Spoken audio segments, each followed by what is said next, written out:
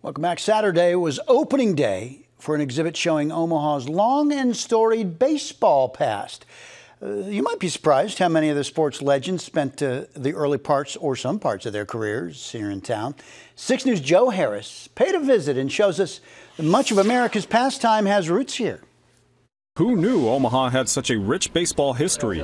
Well, it does. Hall of Famer Three Finger Brown played for the then Omaha Indians before moving on to the major leagues. His is only one of many storied careers tied to this city's pro baseball history and its various team names. Starting in 1879 with the Green Stockings, going on to the Omaha Hogs, and then in 1904, the worst name ever given to a baseball team in the history of whatever, the kidnappers. Much of it is on display at the first annual 150 Years of Omaha Baseball History. With the College World Series, there should be something available for people to actually realize that, you know, Omaha was a, was a, a mecca for baseball you know, all the different players that came through Omaha. Dazzy Vance played here, and Dizzy Dean, and all these people that played in Omaha. And it's something visitors learned about firsthand. I didn't realize we had 150 players that came out of the city of Omaha that made it to the major leagues. Greg Olson was one from Omaha that was kind of in my generation growing up. But my favorite baseball player of all time is George Brett.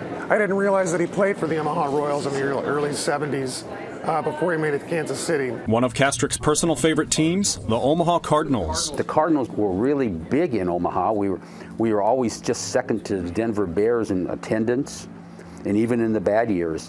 We won a lot of league championships, but we never made it through the playoffs. That club boasted names like Don Blasingame, Kenny Boyer, and Bob Gibson, all of whom later had success in the major leagues. And Kastrick says he'd like the future events to be closer to Charles Schwab Field during CWS so that more baseball fans from out of state can learn about it. We have the College World Series and everything else. Let's now let's appreciate Omaha baseball. Let's let's learn to and also to convey that to the LSU fans and the Tennessee fans and the, you know and the Southern Cal fans that come in here that hey, you're coming into a, a pretty interesting baseball town. On your side, Joe Harris, Six News.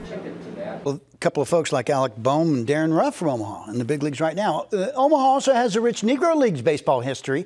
That'll be celebrated at the Storm Chasers game July 15th. Now, it's not too late to visit the baseball history exhibit that you just saw. It runs through August 5th and is open Thursday through Sunday at the Center Mall.